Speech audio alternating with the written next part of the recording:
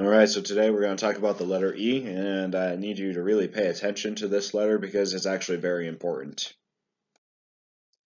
Okay, so the letter E is a vowel, right? Which means in English it's really weird. So the first sound that E can make in English is the E sound. So we have the sound like uh, me, see, be, be, meet, meet, feet, and beat. So notice when I'm saying E, I'm really showing all my teeth here. So I'm saying E, me, see, be, be, meet, meet, feet, beat. And the second sound that E can make is the S sound. So in mat, bet, set, send, rend, blend. And then finally, uh, we have the silent E, which means the E doesn't make a sound at all, like in take or make. So for this case, the, the rule generally is um, if there is a vowel, such as in the word mine or take, that comes before the consonant and then followed by the E, the E is not pronounced.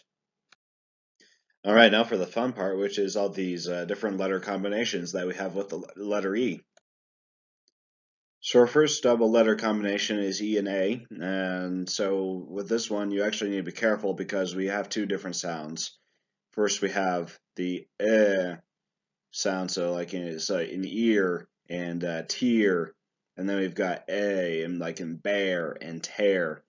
And I'm sorry that tear and tear are spelled exactly the same, but they mean they mean two different things. So just pay attention to that. Okay, next we have EE or the double E. Uh, this always makes the E sound. So we've got meet, feet, see. So that is the first sound that we discussed. END. So this one is always going to make the second sound that we per, that we talked about, which is ah. So end, send, bend, friend, blend. ER. Okay, so this one is in particularly important in American English because we really emphasize the er sound. It's er. In a lot of other languages, or not languages, but accents, um, the ER sound is a little bit less heavy. But in American English, it is very heavy. We say water, flower, letter, remember. And for example, in British English, they'd say something like water, a flower, a letter, a remember. You don't really pronounce the R in those ones, but in English, in American English, you really have to pronounce the R here.